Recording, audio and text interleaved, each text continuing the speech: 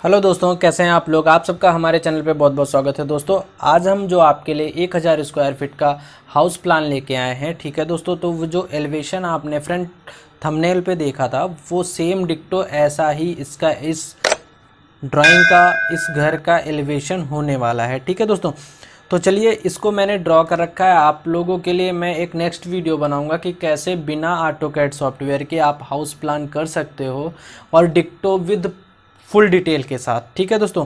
तो ये शायद हमारा नेक्स्ट वीडियो होगा और उम्मीद करता हूँ कि ये वीडियो आप लोगों को अच्छा लगे और उससे स्टार्ट करने से पहले अगर आप अभी तक मेरे चैनल पर नए आए हैं तो मेरे चैनल को सब्सक्राइब करिए और बेल के आइकन को भी प्रेस कर लीजिए जिससे कि ऐसे वीडियोज़ के नोटिफिकेशंस आप तक पहुँचते रहें। तो दोस्तों, ये जो है हमने इसका इंट्री गेट 10 फीट के आसपास दिया हुआ है और पोर्च एरिया ये हमारी है। ठीक है दोस्तों? जो कि हमारी 15 से 16 फीट के आसपास गहरी है और इसमें आप आराम से कार पार्क कर सकते हो।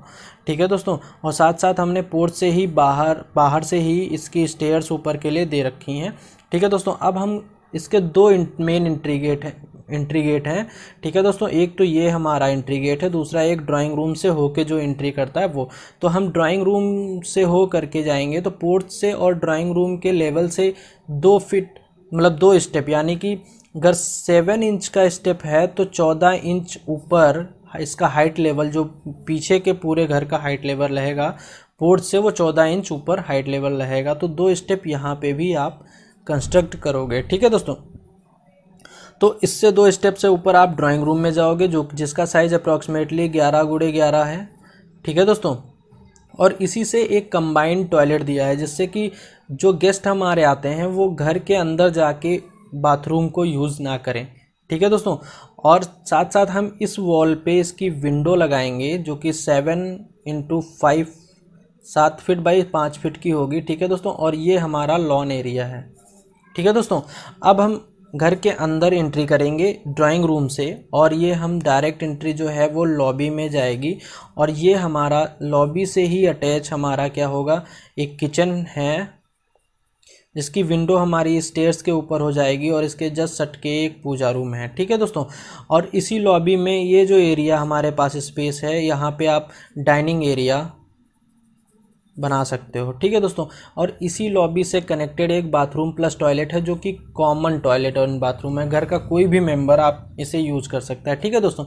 अब हम चलते हैं अपने रूम की तरफ़। रूम नंबर रूम नंबर एक की तरफ़। तो रूम नंबर एक का जो साइज़ है वो eleven feet approximately eleven eleven by eleven feet है।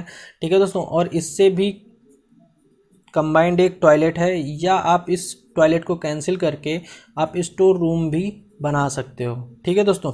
एक छोटा स्टोर रूम हो जाएगा और पीछे ओटीएस हमने छोड़ रखा है, जिसकी वजह से हमें इस रूम में वेंटिलेशन प्रॉपर मिल सके और रूम नंबर दो में भी वेंटिलेशन मिल सके।